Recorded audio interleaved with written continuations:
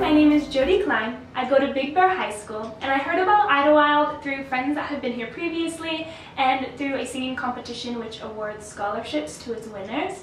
Um, and I love to do and sing music because it gives me the opportunity to express all the things that cannot be said in words. Today I will be singing And This Is My Beloved.